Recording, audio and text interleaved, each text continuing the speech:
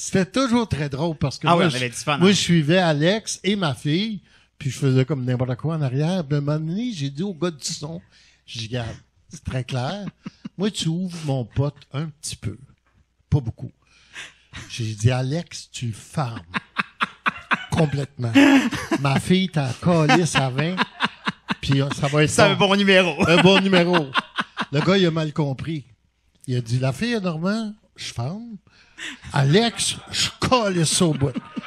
C'était... Te dire, l'horreur. Ah ouais?